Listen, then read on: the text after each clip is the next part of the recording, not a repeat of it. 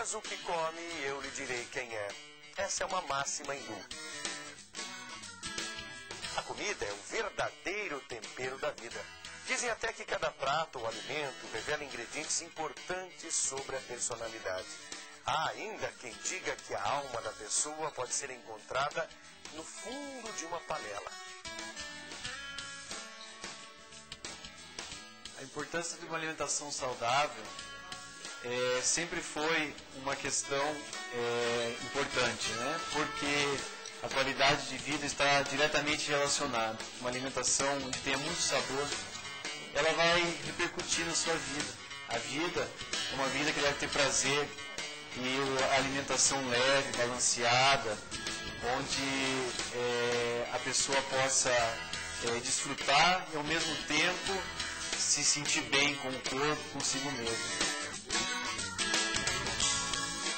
Século XXI, a globalização, o processo de vida moderno pressupõe um preço. E o preço, evidentemente, é a progressão, a quantidade de tempo que vivemos. E essa quantidade pode ser medida também pela qualidade do alimento que temos. É a função do nutricionista. Principais áreas de atuação do nutricionista são administração de unidades de alimentação e nutrição, saúde coletiva e nutrição clínica. Do serviço público, por exemplo, em escolas, creches, unidades de saúde. Nessas áreas ainda a necessidade é bastante crescente, embora já tenha mudado, mas ainda é, necessita de profissionais atuando na área. Na realidade, ainda o acesso ao profissional, o conhecimento, a população não tem acesso ao profissional nutricionista. Digamos, se nós tivéssemos nas unidades de saúde profissional nutricionista é, é, na, na unidade para prevenir, orientar a alimentação saudável, certamente a população tomaria conhecimento também de qual é o papel do nutricionista. Então vai depender do profissional demonstrar a capacidade dele, do que ele é capaz.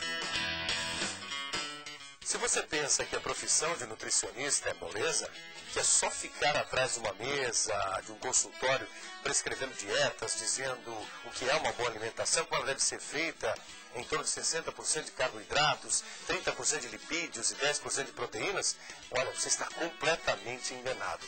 Mas o que é preciso para ser um bom nutricionista?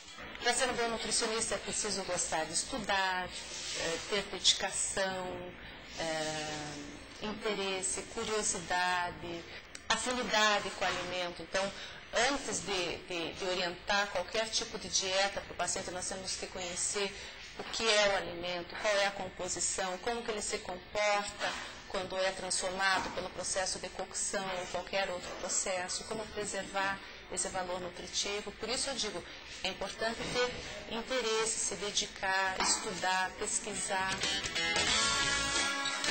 Então, se você tem esse perfil mesmo, siga em frente. Agora é hora sim de mastigar, é hora de comer, mas, sobretudo, é hora de observar o valor nutricional de cada alimento e orientar os outros.